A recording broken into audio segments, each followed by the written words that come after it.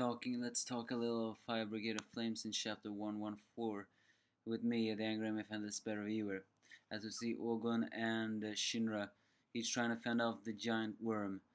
Um, it seems that they're not really managed to defeat it, defeat it, but they do a nice high five and successfully manage to make the worm give up.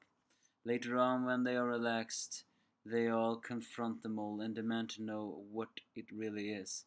The mole once again mentions that it came from a place called Oasis, where, um, mm, uh, but he had many friends that he had to leave. However, strangely enough, uh, we meet a crow that can also talk. The crow calls the mole Scoop, while, while the mole just calls the crow Beauty, whatever. Apparently, this mole, who by the way has half of its face covered like a mantle and also a burning thing seems to be also from the oasis. I don't really know how this works, but it seems indeed that Adora Burst have evolved these animals because they confirm that not all of these animals can talk. So um, Scoop continues to tell them that uh, a mysterious group came out of nowhere and we see a shadow of them riding on a burning horse. Were they the White Hoods? Or someone who actually forced them to leave? And so uh, Scoop has been uh, stealing potatoes, well, just to survive. Elsewhere, Ogun and Shinra looks outside the horizon and see flaming lights on the in the dark, and the crow confirms uh, Shinra's suspicions that they are flame humans. And these apparently flame humans that have been wandered are loud, lonely for 250 years. No one has been put into rest, and they just have been existing. The crow says, though, that they cannot kill them uh, as easily as before, although technically, well, it's mercy kill, although in a way it's not. Because of this land is so fragile, killing them like won't not be so easy as before. So they all they can do is investigate the Adora burst.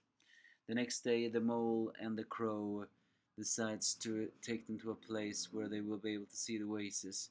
The crow and Shinra takes up high in the air, uh, uh, where they are able to uh, see something. And to Shinra's surprise, he sees wood and plants, but the crow in itself talks that uh, their god, apparently the one who gave them the ability to talk, resides there.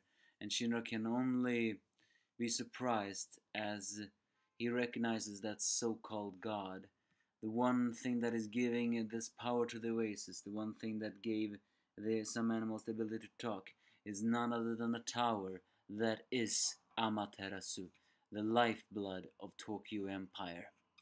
And another, another Tokyo, no, another Amaterasu. It's been long since hinted that um, the creators of Amaterasu holds a secret. Moreover than that, we do not know exactly what uh, the corrupt um, Haijima Corporation is hiding, but indeed, a second Amaterasu.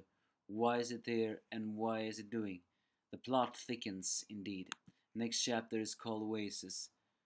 All in all, just a chapter of information, nothing special. Although that crow was kind of funny, especially the way it had a its feathers like a hood and a burning eye that that way.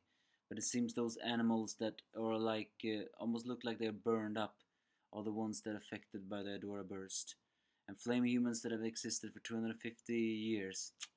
Wonder what kind of pain that they have been going through. And a second Amaterasu. Why is it there? Give me your thoughts if you have any.